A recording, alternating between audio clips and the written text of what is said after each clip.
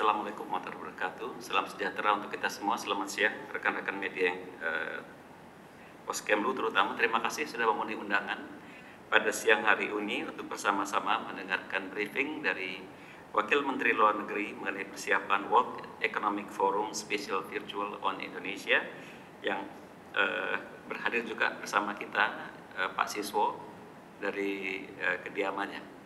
Mudah-mudahan di kediamannya Pak Siswo ya. Selanjutnya kami mengundang Pak Wamelu untuk uh, menyampaikan briefing kepada rekan media sekalian. Silakan Pak Wamelu.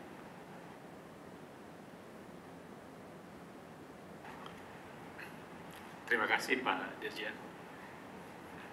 Eh, Selamat siang, Assalamualaikum warahmatullahi wabarakatuh. Salam sejahtera, semoga teman-teman media semua dalam keadaan sehat.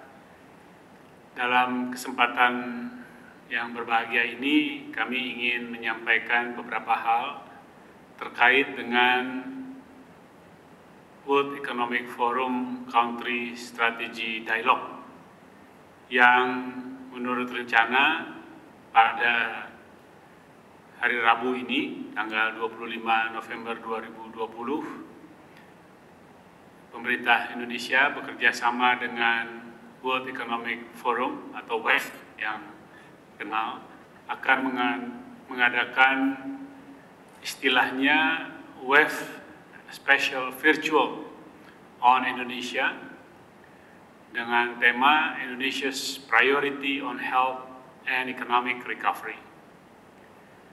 Forum ini eh, merupakan bagian dari rangkaian apa yang disebut dengan Country Strategic Strategy Dialogue oleh WEF yang menghadirkan pemerintah dari negara yang menyampaikan atau disoroti eh, penjelasan dan kebijakannya dengan para pemimpin eh, CEO dan pelaku eh, bisnis global serta para pemangku kepentingan yang terkait dalam suatu sesi yang sifatnya uh, dialog dan uh, katakanlah strategis uh, tingkatannya ya.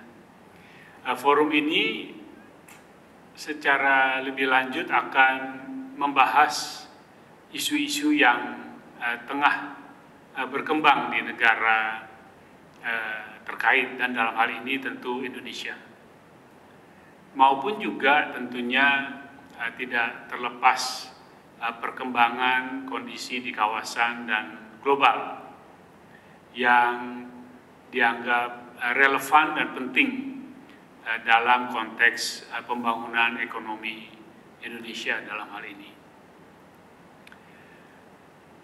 Pemilihan negara untuk melaksanakan country strategic dialogue oleh WEF ini uh, didasarkan pada uh, kondisi negara yang uh, sesuai dengan uh, tema yang diusung oleh WEF dan juga tentunya minat dari para uh, pemimpin perusahaan-perusahaan global yang menjadi anggota dari World Economic Forum.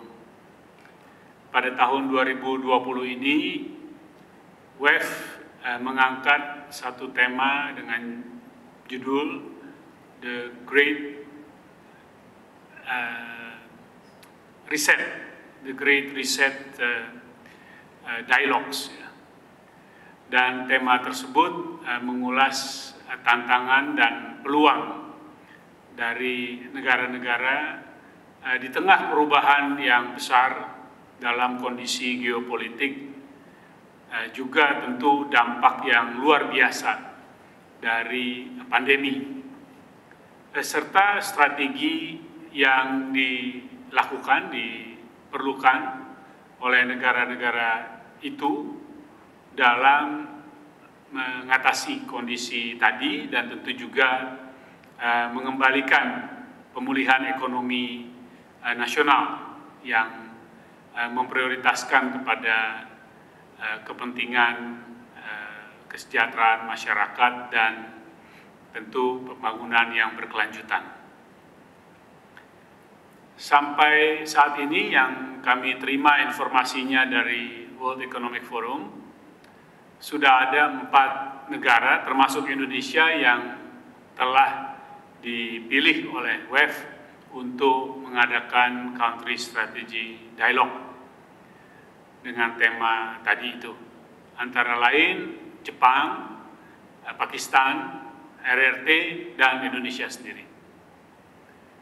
Pemilihan Indonesia sebagai Country Strategy Dialogue oleh WEF dilakukan karena eh, dianggap sebagai negara yang memiliki peran besar dalam ekonomi kawasan dan global, juga dianggap mampu menjalankan eh, kebijakan menjaga keseimbangan untuk penanganan pandemi dan pemulihan ekonomi nasional. Tentu dipilihnya Indonesia sebagai salah satu negara pertama dari uh, sejumlah negara yang adalah negara-negara yang senantiasa menjadi mitra dari WEF menunjukkan tingginya tingkat kepercayaan maupun juga tentu ekspektasi dan keinginan tahu dari banyak uh, pihak terutama dalam hal ini adalah uh, para pelaku dan pemimpin bisnis global terhadap strategi dan kebijakan Indonesia. Dalam konteks saat ini di tengah kondisi global yang tadi saya kami sampaikan dan juga tentu uh, perkembangan uh, mengatasi pandemi dan pemulihan ekonomi dan pembangunan berkelanjutan. Itu yang dapat kami sampaikan, tapi sebagai background juga tambahan bahwa eh, kita juga akan menyampaikan secara umum eh, kondisi yang ada di Indonesia antara lain misalnya kondisi presentasi kesembuhan eh, nasional saat ini mencapai 84,1 persen yang sudah berada di atas rata-rata global menurut WHO yang adalah di kisaran 64,3 persen. Sedangkan presentasi eh, kematian akibat eh, pandemi ini sudah menurun tajam dari 8,6 persen ke 3,2 persen. Tentu kita juga menyampaikan uh, tren yang baik ini uh, tentu akan terus dilaksanakan sekaligus juga memberikan peluang bagi kita untuk meningkatkan langkah-langkah dalam pemulihan ekonomi nasional.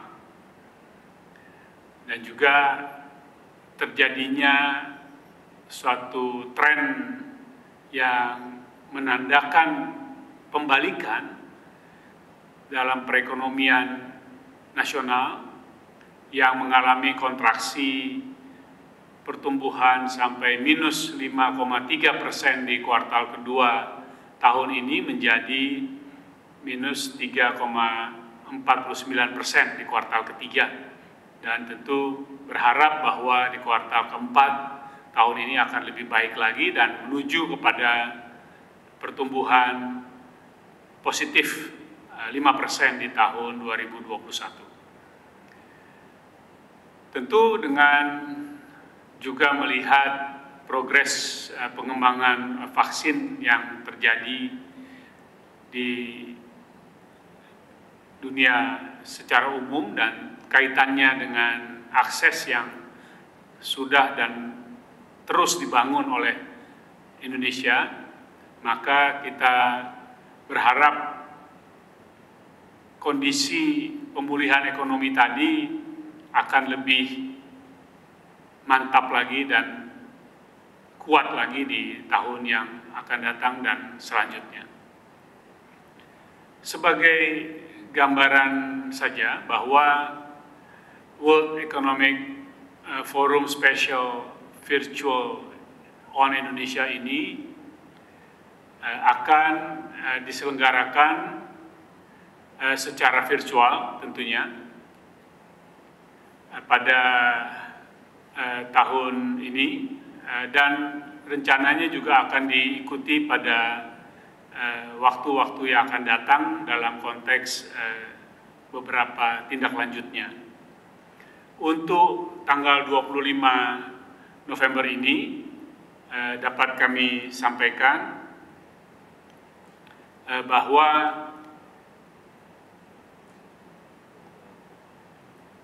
secara khusus juga Indonesia akan menyampaikan Eh, perkembangan eh, berkaitan dengan eh, konteks pemulihan ekonomi nasionalnya itu terkait dengan penerapan Omnibus Law atau Undang-Undang Cipta Kerja.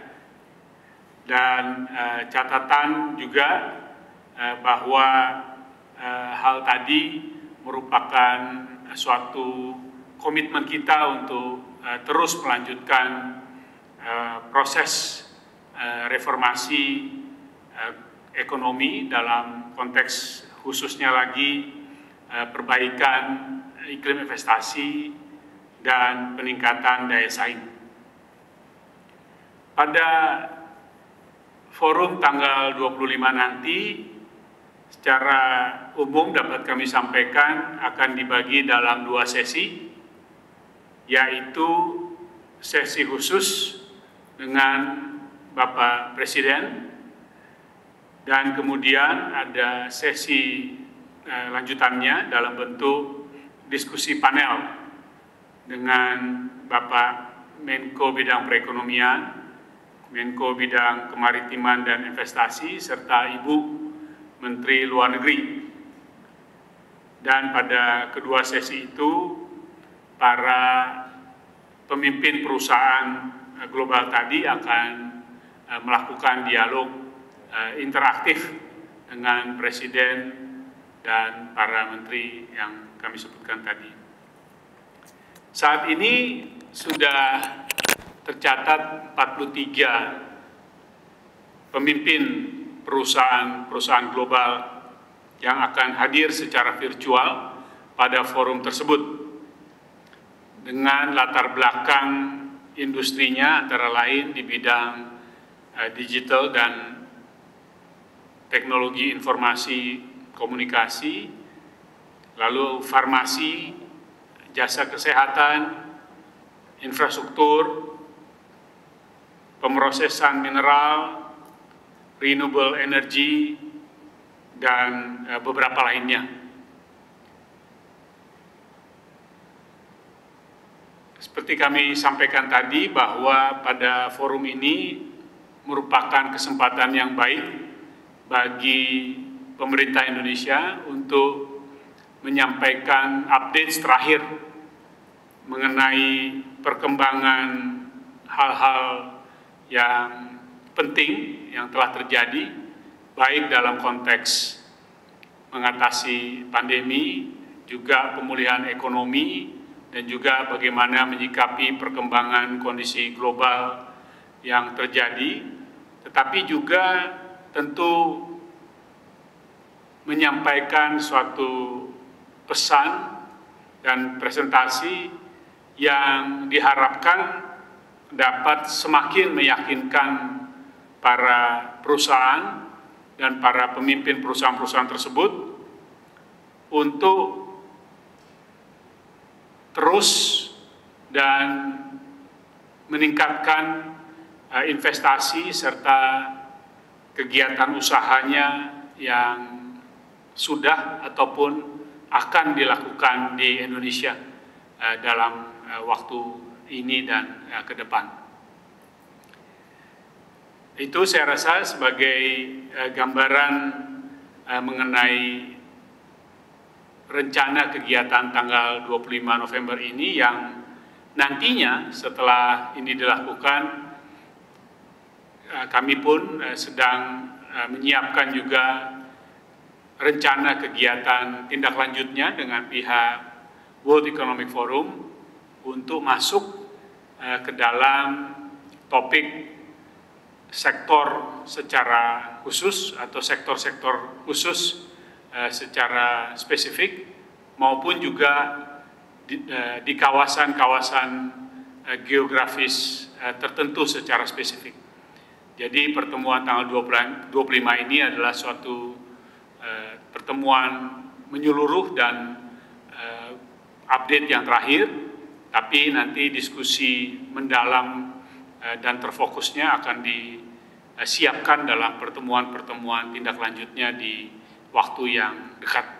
Demikian sementara informasi yang dapat kami sampaikan kepada para teman-teman eh, media sekalian. Terima kasih. Wassalamualaikum warahmatullahi wabarakatuh. Eh, terima kasih Pak Wamenlu atas kesempatan briefing eh, persiapan World Economic Forum untuk tanggal 25 November. Dan terima kasih juga para rekan-rekan media atas partisipasinya dalam kesempatan press briefing pada hari ini. Terima kasih, selamat siang. Assalamualaikum warahmatullahi wabarakatuh.